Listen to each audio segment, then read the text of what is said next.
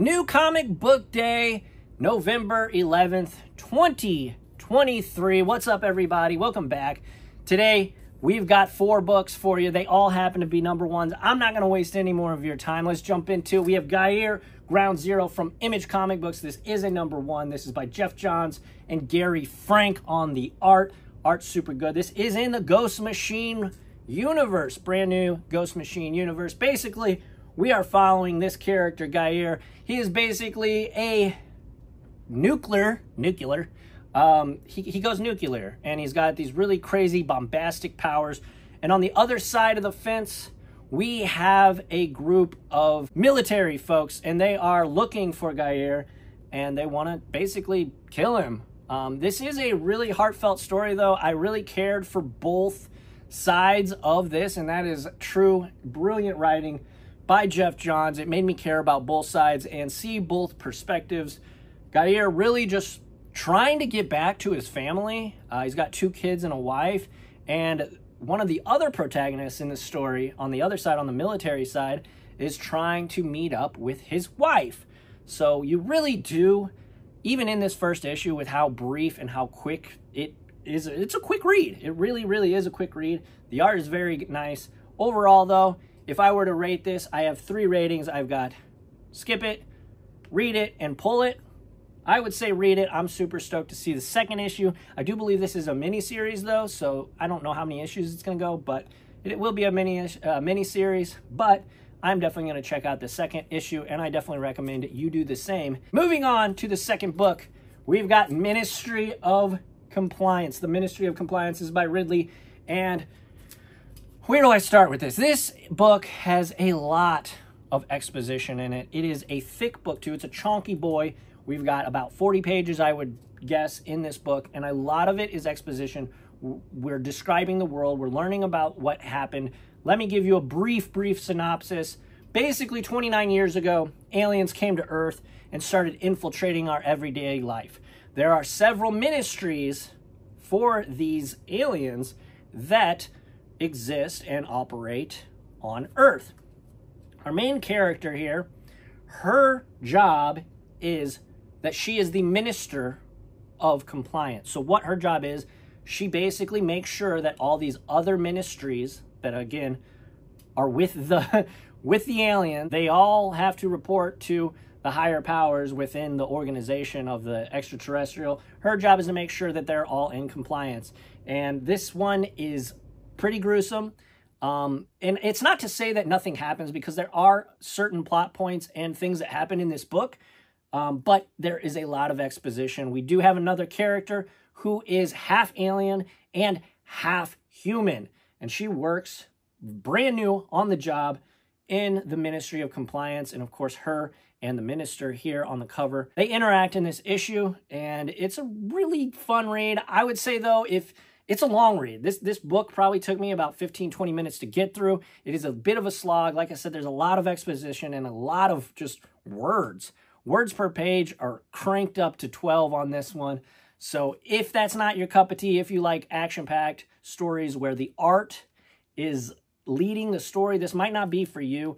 Personally, I am going to check out the second issue, though. I was into the world. The world that they built here is really cool, but it did seem like this book in particular has a lot of just standing around and talking. Now, again, this is a number one, so we did need to get some of that world building out of the way. Overall, though, I would say this is a solid read. Read it, see if you like it. If you do, check out the second one from your local comic shop. But yeah, issue number one of Ministry of Compliance off to a decent start. Next up, we have The Deviant. This is by James Tynion, and holy smokes, guys, this one First off, trigger warning if you're not into gore and blood and guts and choice, very foul language, this one ain't for you because holy smokes, this thing gets a rip roaring out of the gates. It is gruesome. But let me give you the brief synopsis. We are following a writer, a comic book writer, who is interviewing someone who 20 years ago was arrested for the murders, the grisly murders of some uh, serial killer, right?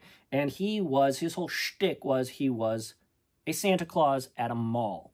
Um, So he's interviewing him, and it seems like the main character is probably a stand-in for Tynion himself. So some very meta commentary there on being a comic book writer, talking about these murders. Um, but yeah, overall though, the story is really good. It's very nicely paced, I will say. I really enjoyed it. Um, there is, of course, a nice little twist at the end that uh, will keep you hooked to book number two. But in my opinion, I've seen enough to know that this is an absolute pull. We are pulling this. I will be reading this, um, hopefully for months to come. Tynion is on an absolute crazy, crazy run right now with all of the books that he's putting out. But The Deviant is definitely one that I am pulling and reading. Awesome, awesome book. Last but certainly not least, we have the Superior Spider-Man issue number one by the original team, Slott and Bagley. First off, from an art perspective, I do want to say this is an absolute heater.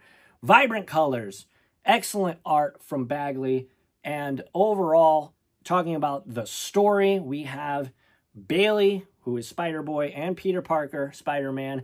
They are in New York City, Times Square, and Mirage is there Peter Parker makes an excellent quip about, hey, you can take this D-list villain down by yourself. he does. He laughs about it. They share a laugh. Anyways, then a brand new to Spider-Man villain pops up, Supernova. This is a character, this is a super villain that was created by Doc Ock from the original Superior Spider-Man way back in the day. But the twist is of course, Peter Parker wasn't in his body, so he doesn't know that Doc Ock, while in Peter Parker's body, created this supervillain. So Supernova is pissed at Spider-Man for creating her, of course, and that's kind of where it takes off. Again, the art is excellent. This is an action-packed, very bombastic first issue. From cover to cover, we have action. I'm so stoked that Spider-Boy is getting used in this series. It's a character that I'm super interested in.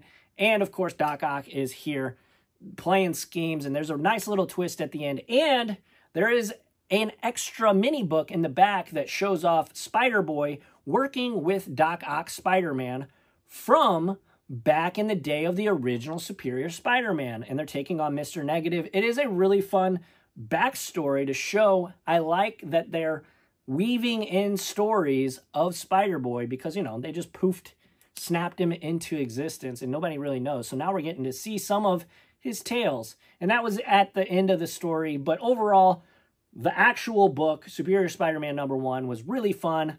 Absolute pull. Spider-Man is one of my favorite superheroes of all time.